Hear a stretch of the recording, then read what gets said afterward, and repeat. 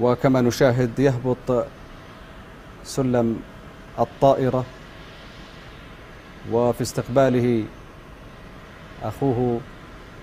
صاحب السمو وعناق معبر عن عميق العلاقة التي ما تفتأ تعالج نفسها وتعود أخوية صادقة ترنو إلى